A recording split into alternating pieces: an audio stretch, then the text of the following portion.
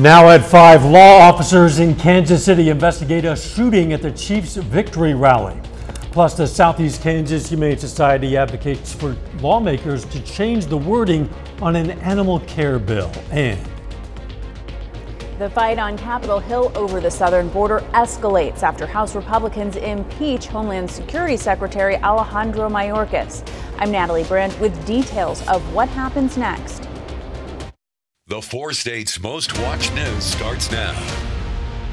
What was supposed to be a celebration of the Chiefs' Super Bowl victory turned into tragedy. Gunshots rang out during the victory rally at Union Station, scattering fans and leading to panic. Police say one person has died, about 15 other people are injured, including children. Two people have been arrested. This is KOAM News at 5. I'm Dowe Quick. We spoke to a Kansas City resident who was inside the Union Station and shared her experience. Giovanna Klepper was in Las Vegas just this weekend watching the Chiefs and celebrating the Super Bowl. Today was supposed to be another day of celebrations for her, her husband, who works for the Chiefs, and all the fans in Kansas City. Klepper told KOAM's Fernandez Silva she lived moments of a horror movie.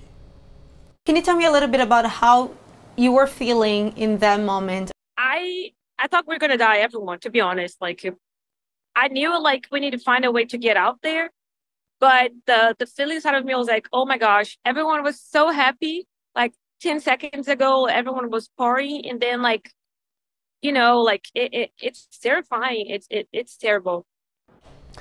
We're going to have much more on the shooting and what Klepper saw and heard tonight at 6. Now, we do have a reporter in Kansas City covering the parade and celebrations. Tonight at 6, we're going to have details on that and hear from fans and the team about their victory. Kansas Humane Societies are advocating to update the wording in the Kansas Pet Animal Act. House Bill 2542 is proposing a change in the wording of the Kansas Pet Animal Act which was enacted 35 years ago. The act regulates the care of licensed pet animal agencies. Now, currently, the act requires facilities to have adequate care for companion animals. Kansas animal advocates are trying to add the word continuous to the act. So that's a big word change, right? So, a good example of how that word change would affect shelters, rescues, and breeders um, for wintertime, right?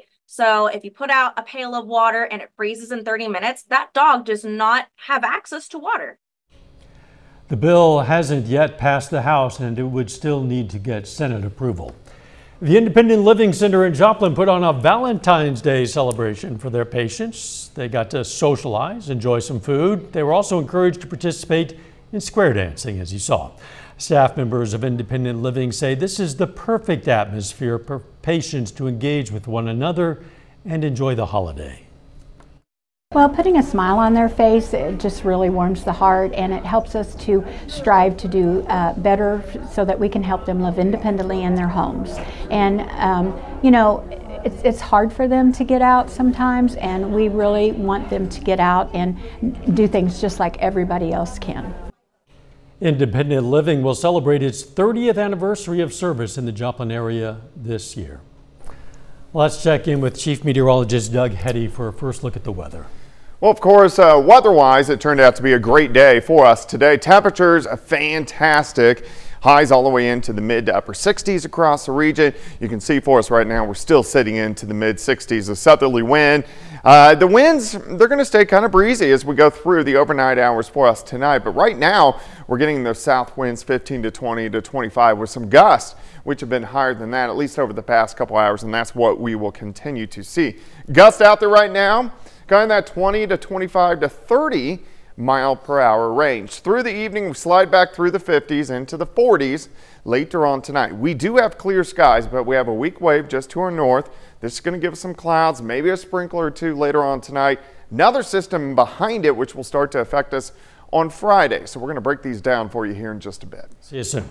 House Republicans say they're working on a plan to address border security after rejecting a bipartisan Senate bill. But in the meantime, they voted to make DHS Secretary Alejandro Mayorkas the first cabinet member in 150 years to be impeached. It was over his handling of the border. Natalie Brand has more now from Capitol Hill.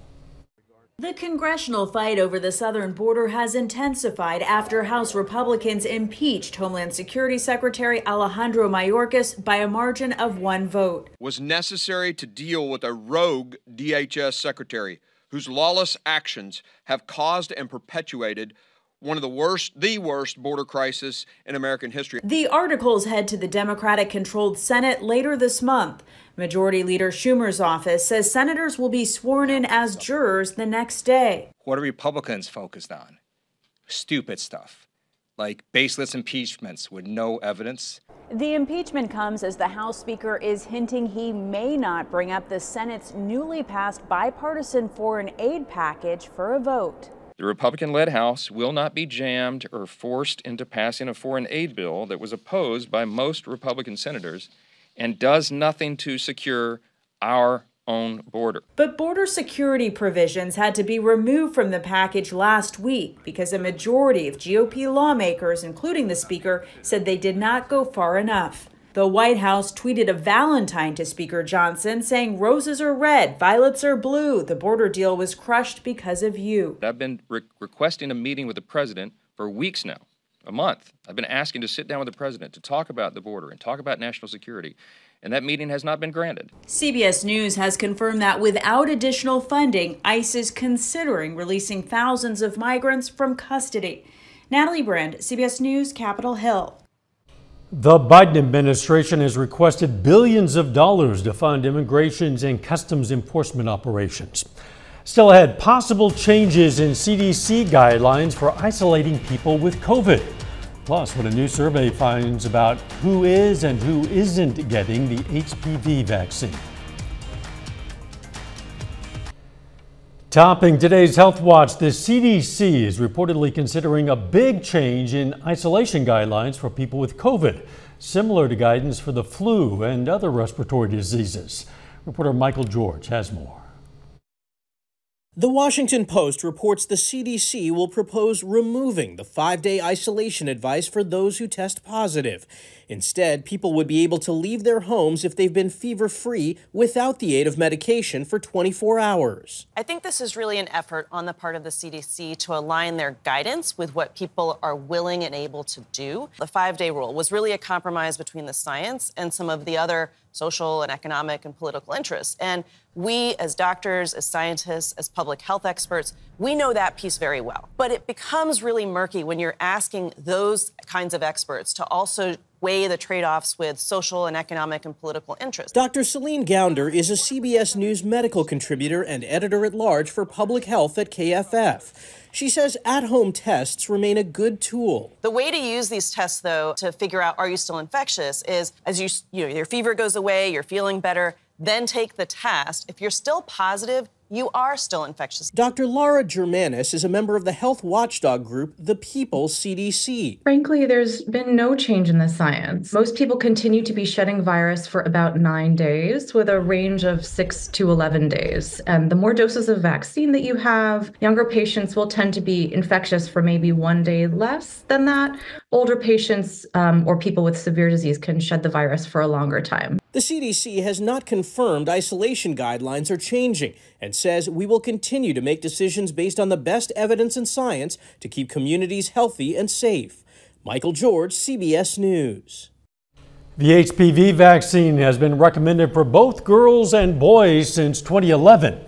But a new CDC survey shows only 38% of children ages 9 to 17 have received at least one dose. White and black children are more likely to be vaccinated than Asian and Hispanic children. The human papillomavirus is the most common sexually transmitted infection in the U.S. and causes almost all cervical cancers. And that is a look at today's health news. A little bit later, our pet vet on call. Hi, I'm Dr. Eva Dudek from Parsons Pet Hospital. Coming up, we're going to talk about potential OCD in your dog. Plus, we're tracking a couple storm systems heading in our direction. We're going to look at that coming up next.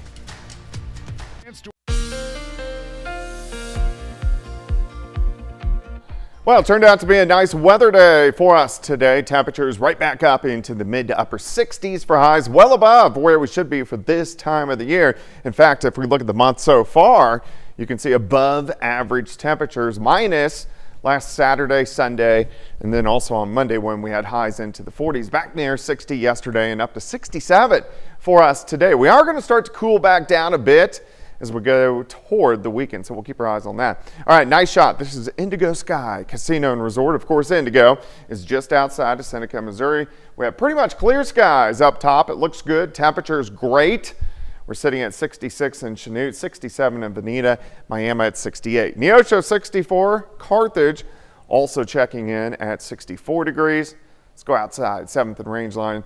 We have south winds at 22, gust up to 30. So it's been windy throughout the afternoon. It's going to stay windy as we go through the evening hours. We slide back through the 50s. You can see those southerly winds, 15 to 25. Of course, gusts have been higher than that. They stay pretty high tonight. We're still going to have those gusts in that 20 to 30 mile per hour range. We do get a northeasterly wind tomorrow, so the winds back down. And then on Friday, they kind of pick up again, especially late in the day with gusts again, kind of in that 20 to 30 mile per hour range. So a little bit breezy as we go through the next few days. All right, clear skies. Not a whole bunch going on here. We have a wave to our north. This wave is going to slide right across central Missouri. Uh, we're going to get a few of these clouds later on tonight. May get a sprinkler or two. That should be about it. Next wave out across the western half of the country. This wave will start to affect us on Friday. You can see the upper level wave right off the coast of Oregon. But all the Arctic air is still staying up into Canada. And anytime we get these waves, we're not getting much in the way of cold weather. So we're getting mainly rain, minus what we have Monday morning. But as we go toward the weekend, we do get a little surge of cooler air working in, dropping back lower 20s by the time we head into Saturday. It just doesn't look like it's going to stick around for very long. All right, let's go through time tonight. We slide back mid 40s. Notice the wind switch out of the north. Weak cold front slides through. Again, could get a random sprinkle later on tonight. Sunny again tomorrow, a little bit cooler. High temps kind of 56, 57, 58 degrees, but still a fantastic day. Tomorrow night, clouds increase, may get a random shower in here late. So late tomorrow night into Friday morning, a band of snow will work across eastern Kansas through Kansas City and kind of clip us as we head into Friday morning. Temperature is going to be dropping from the 40s into the 30s, but most likely Friday morning we're going to get some light snow showers. Then most of this will be out of here by the time we head into Friday evening. So if there were any accumulations on Friday, the better shot's going to be central Missouri, but still we could pick up some very minor accumulations, especially in west central parts of Missouri. 43 in the morning, 50 by noon, high temp 57 for us tomorrow. Let's go 44 and dropping on Friday. A little bit cooler for the weekend. High of only 42 Saturday, but back to 55 on Sunday. But even those coolest temps don't really seem too bad. yeah, it's not bad at all. Thanks, Doug. Coming up, why thousands of rideshare drivers went on strike this Valentine's Day. Topping today's Consumer Watch, thousands of Uber and Lyft drivers today went on strike in cities all across our country. Organizers said it would be their largest nationwide protest action against the ride hailing platforms, with drivers demanding higher wages and better safety features. Strikers say they're being forced to work longer hours to support their families and blame the apps for taking a larger cut from each fare the fares that they're charging riders, it's not uh, reciprocating to the drivers.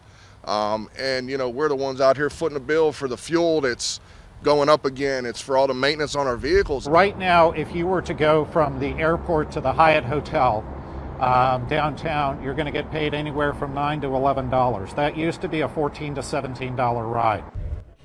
Lyft says it guarantees drivers at least 70% of their fares each week and that they earn an average of nearly $31 per hour. Uber says its drivers make about 33 an hour. More people are falling out of love with dating apps and looking for ways to make a connection. Bradley Blackburn has more on how speed dating is making a comeback. On a Monday night in Manhattan, the back room at Pando Park was packed with people, all looking for a connection. We'll meet someone to date. Like many here, Jonathan Cummings is tired of dating apps and sees value in being face to face instead of swiping on a screen. You can look at their body language, you can see if they smile at my silly joke, you know, and that means a lot. The only phone in sight Here we go with round two. was a six minute timer from host Stacey Harris with speed dating company My Cheeky Date. Everybody gets to meet everybody. I say you can talk to anyone for six minutes. This company hosts speed dating here in New York and in cities across the country and around the world. There are plenty of people looking for love offline. According to Eventbrite, attendance at in person singles and dating events grew more than 40% last year. The number of events was up more than 60% compared to before the pandemic. Dating fatigue is a real thing. Maria Avgitidis is a professional matchmaker and Eventbrite's dating expert. She's found Gen Z is even more skeptical about meeting on apps. Are you using an AI generated photo online to get the swipes, or is this photo slightly blurry, clearly a person, clearly real, no filters? Gen Z is showing us that they've grown up in a digital world. They're seeking more analog dating interactions. At speed dating, a spark can happen fast, sometimes not in the way you'd imagine. Jawan Kim is still looking for Mr. Right, but has found some new friends. The first two times, I met a lot of cool girlfriends. Um, nothing romantic has blossomed, but maybe third time's the charm. A silver lining in the search for love. Bradley Blackburn, CBS News, New York. Now, according to Eventbrite, unique in 2023, the cities with the highest percentage of dating and singles events included New York, LA, and Houston. Our pet vet on call up next.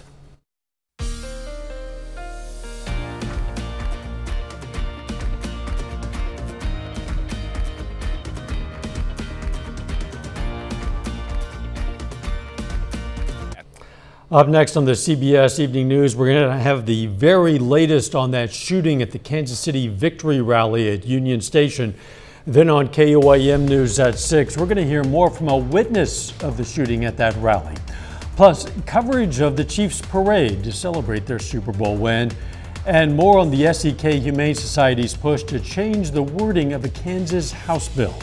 Stay with us for the CBS Evening News and then KOAM News at 6. Our pets' habits can sometimes seem maybe a little bit baffling. Today's question for our pet vet on call why does my dog like to always have something in her mouth? Not to chew, but just to hold. Well, I'm sure there's many reasons, but two come to my mind immediately. Number one is an obsessive compulsive disorder. Um, it, it, she just she just likes it, and if it doesn't interfere with her quality of life, I think it's just a cute quirk. You don't have to worry about it. The other thing could be that there may be some pain or discomfort in her teeth or her jaw, arthritis, and the pressure of something in the mouth makes her feel better. So I would see your veterinarian, rule that out, and if everything is okay and they don't find any problems, you just have a kid with OCD. Hey, we invite questions from anyone. If you have a question, you just send it to petvet at koamtv.com. Dr. Eva Dudek from the Parsons Pet Hospital answers a different question or brings us a fun fact every Wednesday right here on KOAM News at 5. You can also find answers to previous questions on our website. All right, let's check out our picks of the litter for the week. A couple of dogs from the Joplin Humane Society. We have Pinto, a two to three year old male Great Pyrenees mix, a beautiful animal. The shelter says he has a medium energy level, loves sitting by his person. And from the Southeast Kansas Humane Society, something a bit smaller, we've chosen Gabe, a five year old Chihuahua who loves being brushed but doesn't do well with cats. No cats, says Gabe. That's good to know. If you're looking for a pet, why not check out your local Humane Society? A lot of humans share Gabe's opinion of cats. That's true. I share that opinion of Gabe. you don't bark at them, I'm though, not, I hope. No, I'm not a big cat person. All right. The weather looking pretty nice. Yeah, it does. A little bit cooler tomorrow, but still a great day. 57, and it is going to be windy. 44 on Friday. A few rain and snow showers during the morning hours, and then cooling down a bit as we head into the weekend. Thanks for joining us. The CBS Evening News is next again with much more on that shooting in Kansas City. And of course, we'll be right back here at 6 See you then. Let's make it a great evening.